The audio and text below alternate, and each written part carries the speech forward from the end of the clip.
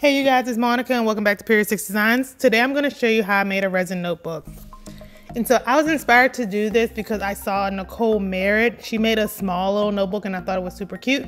So I decided to make my own. So you see I have a silicone mold which I picked up on Etsy.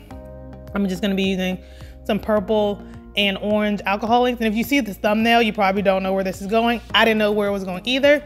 And also picked up some bronze uh, pigment from Mr. Nola's Glitter, which I'm here in New Orleans. That's a local store for me, but they're very popular on Instagram.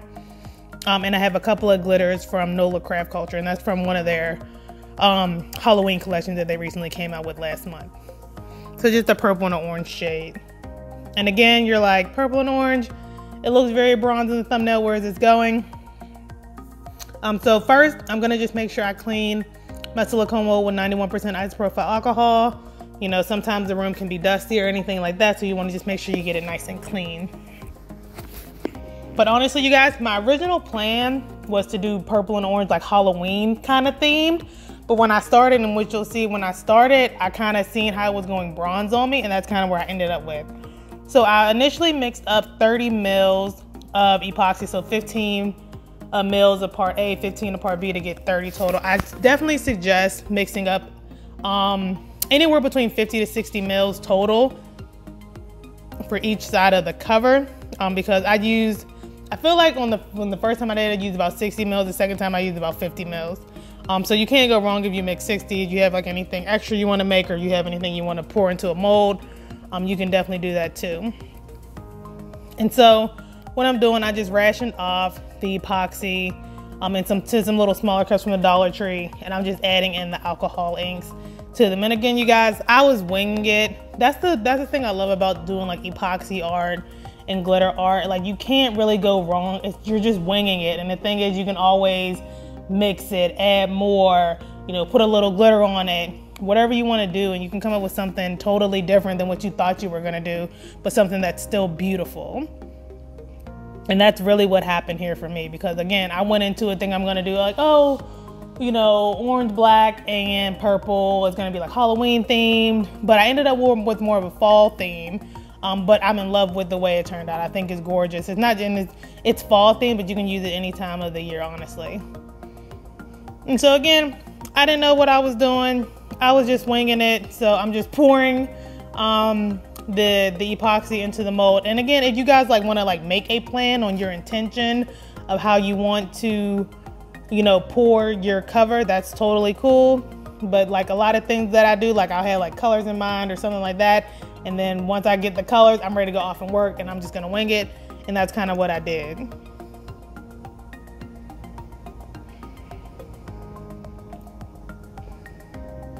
And so I thought I did a really good job with getting the orange to the shade that I wanted, but that purple, you see it's very transparent and like blue looking. It definitely wasn't what I was going for. I wanted like a much richer purple, like you see the glitter. That like that's really the color purple that I wanted.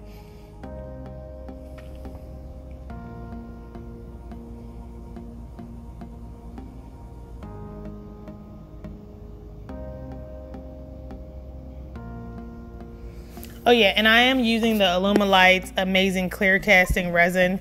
Um, in case you guys are wondering, it has a working life of about 30 to 40 minutes once you start mixing the two parts. So this is a great resin to work with um, when you're doing something like this because it definitely gives you enough time to to really place the the product where you want it and kind of if you're doing if you are doing like a specific design that you're trying to achieve it definitely gives you that work life that you need in order to achieve it and so I'm trying to bring more of that darker purple up into that more transparent bluish purple because again, it wasn't really the shade that I wanted. And you can see right here, um, I went to go mix up some more epoxy. You can see right here that I'm adding in more alcohol inks because again, I wasn't really satisfied with the shade. It looks very blue um, and blue was not the shade that I was going for. So just trying to darken that up some. But again, with having that long pot life, you really can work with things and change things and add color and, you know, do swirls or designs or anything you, you think you might want to do. You definitely have that working life, uh, working life with that, uh, um, that working life with the Alumilite's Amazing Clear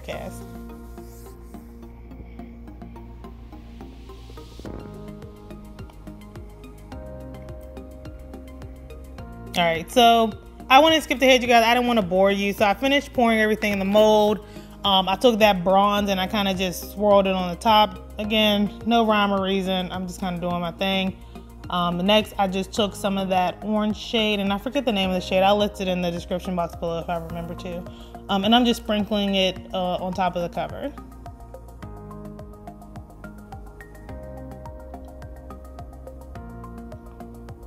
And I'm gonna do the same thing with the purple.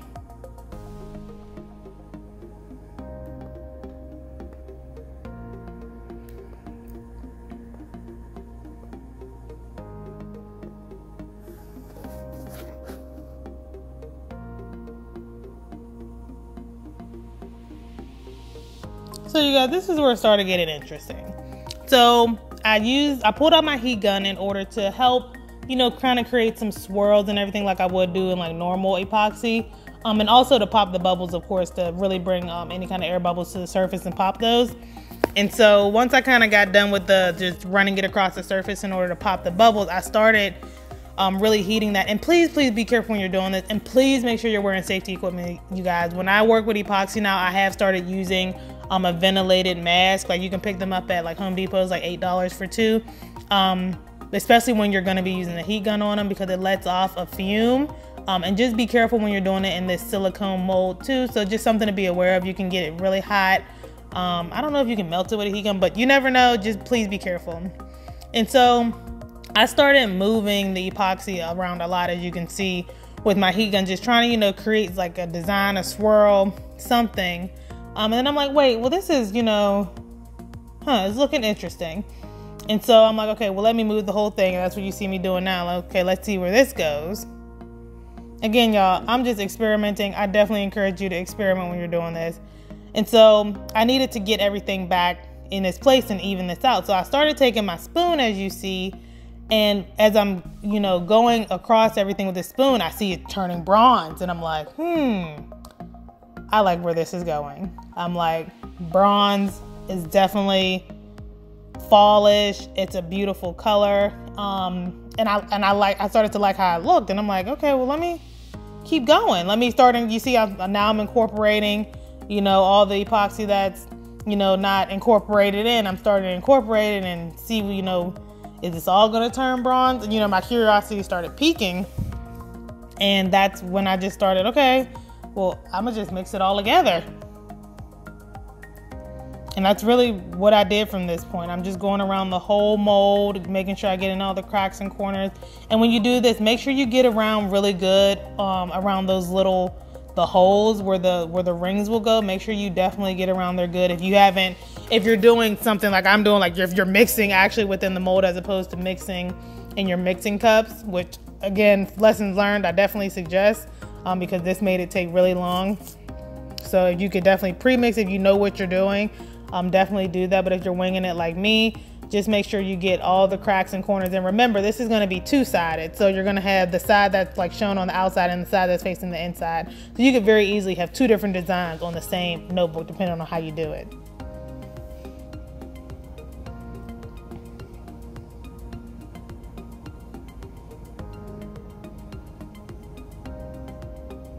So yeah, work work all the corners really good. Work the whole mold really good. Make sure you're getting all the way down to the other side again because you you will technically have a design on the bottom and design on the top. So you want to make sure you incorporate everything down to the base of the mold um, so you have some consistency between the two surfaces. And I'm just going back over with my spoon to make sure that I have filled in everything and everything is nice and populated. create a little swirl design in it. And that was it, you guys. I let it sit. I, I let this sit for two days. Um, you see how easily, look how easy that peels back, you guys. Like no resistance. I love working with silicone molds like this. No resistance whatsoever. It pulled off so clean. So, and that's what I got. And so you guys, here's, I did it again. And so this one's a little more orangey. Again, I wasn't using measurements. I kind of, I used the same material to make sure I got like the same kind of effect. But One's a little more orange and one's a little more brown. I'm not mad at either. I love both. I think they both look good. And honestly, when you put them together, like as far as the notebook goes, unless you're looking really hard, you can't tell the difference.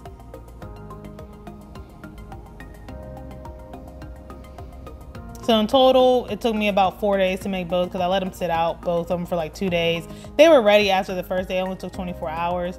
Um, but I just went ahead and just kind of let it sit there. And you can see right here where I didn't mix it good. And you can kind of see where that blue, remember that blue that was kind of right there? You can see where that's still coming through at. All right, you guys, so I picked up this paper. This is size, this is an A7 silicone mold. I'm sorry, I should have said that at the beginning. Um, I picked up this double paper pack and like these little cute little pockets and these cute little markers um, off of Amazon. I think it was like $10 for the whole pack. And the little rings I picked up while I was over at Mr. Nola's Glitter getting the, the bronze pigment. And these are just binder clips. And so if you never use a binder clip, they just work. You kind of just, oh, it's really hard to describe, but it's, it's not a snap, but you kind of just slide them out. I'm going to show you, show you twice. You just kind of pull it apart and then pull it apart, if that makes any sense. I hope that makes sense. It's really hard to get it on camera. And these ones are honestly, they were really tough. Like they sell some at Walmart that are really easy to use. They were one inch. The, the ones at Walmart I know they have one inch ones. I think these are half inch ones. Um, I actually prefer a one inch, and I probably will switch to a one inch so I can put more paper in the notebook. Um, but yeah, the, these little half inch ones were really hard to open and close. When you use a one inch, you have some more. You have a, a larger leverage point, so it's a lot easier to use. And so what I'm gonna do, I stacked the bottom cover in the paper. And I'm just gonna go down one by one. And you guys, again, this is really hard to get on camera um, because it's you have to keep it kind of close to you to make sure you line everything up right.